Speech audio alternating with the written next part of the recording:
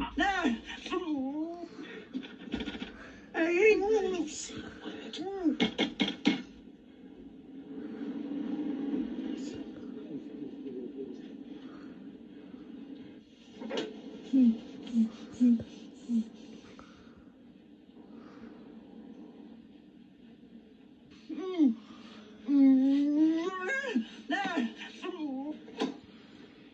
Hey, Evelyn, where are you? Are you keeping that Spanish hours again. Just like, open the door.